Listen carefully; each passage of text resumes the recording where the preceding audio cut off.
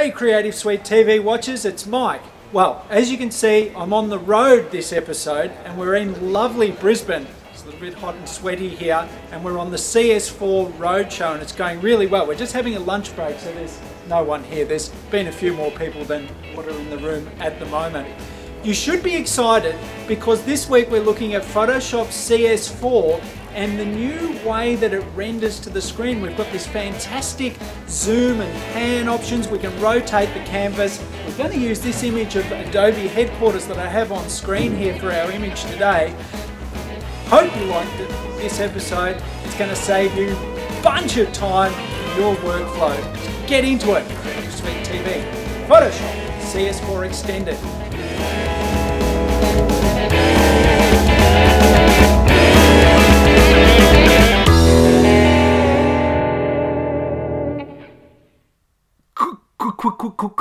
Queensland. Queensland. What an idiot. I can't even say Queensland.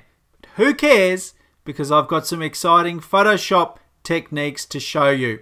This is all about the way that Photoshop now uses a GPU on our computers to render to the screen. And there's a few other little tips and tricks in here as well.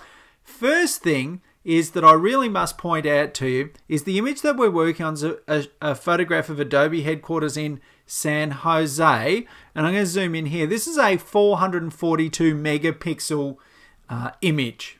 Okay, at the moment we're zoomed out at 3.92%. It is a monstrous file and we can even have a look at the image size. Let's zoom in on that as well so you can see 29,000 pixels across. That is truly extraordinary. It's monstrous.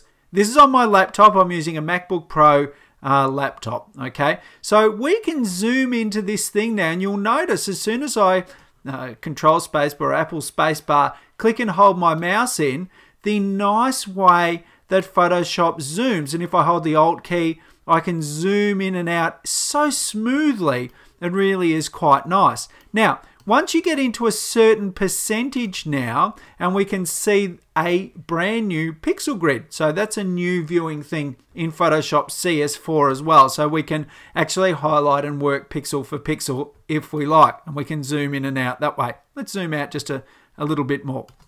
Now, when we're seeing the entire image, or when we're seeing part of the image like this, and we'd like to pan around, the shortcut for the uh, hand tool, of course, is either the H key or the spacebar. So with the spacebar, I can click and flick my image around and it drifts across. So you can just flick and flick. And if you want to stop, then you just click again. So flick and then click and it stops. Flick and then click and then it stops. So it's really quite a neat way uh, of working as well. Let's drift back over to this logo. Okay. The other thing that's brand new is spring-loaded tools. So you may not know, but each of the tools has got a, a, shortcut assigned to it. The type tool, for example, is the T key. Okay, The hand tool, for example, is the H key. So if I'm in the Move tool, or the V key, and I want to temporarily switch to the text tool, I hold in the T key. And then I, when I release it, it will take me back to the Move tool. So T, release or H release and then that switches me between the tools very quickly. Now this is important. If I want to zoom out really quickly I can hold in the H key and then click and hold in my mouse and you'll notice around my cursor a square appear okay so the square indicates the zoom that I just was at I can then reposition my cursor and then let go of that and that will zoom me into that new location. And that's click, move the cursor, let's have a look at this bus, and then release it, and then it will zoom into that area. So it becomes really fast to zoom in and out. We can check to see who's at work. Is my boss there? No, he's not. We can click in and out of all of these spots very, very quickly. So it makes the process of retouching fast, fast, fast. And that's what Photoshop CS4 is all about. So in the world of retouching, if you've got to come around and, and do a few little spots, you might do it like this.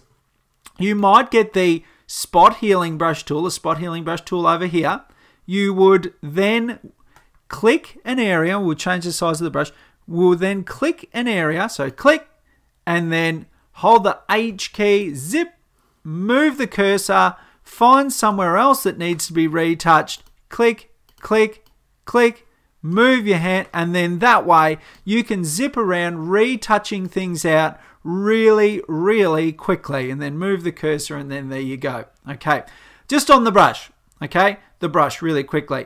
If you want to resize um, a brush, okay, just on the brush tool here, and you can use the square brackets. Here's a new thing. If you hold down the control and the Alt key or the Option key, you can click and drag now out the size of your brush. I say so click and drag to the right, click and drag to the left with the Alt and Control key. So that's a new kind of little technique there as well. Okay, one last thing. Because, because obviously this picture is uh, San Jose, I thought we might go back over to the Adobe Bridge and pick some images that I took in Perth. Okay, Perth is a lovely spot. This is right next to the Swan River. As a matter of fact, this building is called the Swan Bells. Now, I have one, two, three, four, five, and we're going to go from the bridge and say Photoshop, use the photo merge. So if you have used photo merge in the past and you've thought, hmm, it's rubbish, well, think again, have another look. We've got a few new options. We've got vignette removal. We've got geometric distortion correction. So two brand new options there. All we have to do is select the open files here and press OK and then let Photoshop run its magic. It'll open up all of those images one at a time. Of course, they're DNG files taken with my Nikon D70. It's loading them up into the layers panel, which you may see over on the uh, lower uh, right hand uh, portion of the screen. So you can see it's loading them up into uh, layers down there. Let's do that. Let's have a look. There they all are coming into there. Now, Photoshop is now having a look to align them all. So it's seeing if there's any areas that overlap.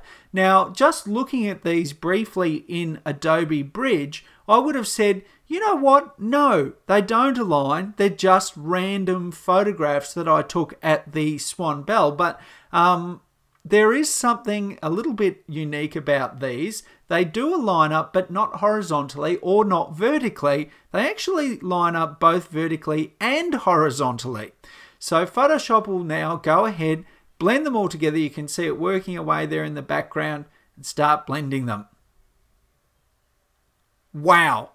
That is truly amazing. So not only has Photoshop picked out where all of these go together, it's also created layer masks over here so you can see doing it the proper way, creating layer masks, joining them all together to make a fantastic panorama. And this is a reasonably high resolution setup now because of how many images were included there. So it's 295 megabytes already, so it's quite a big file. And you could place that straight into InDesign, and that'd be a really great uh, looking shot.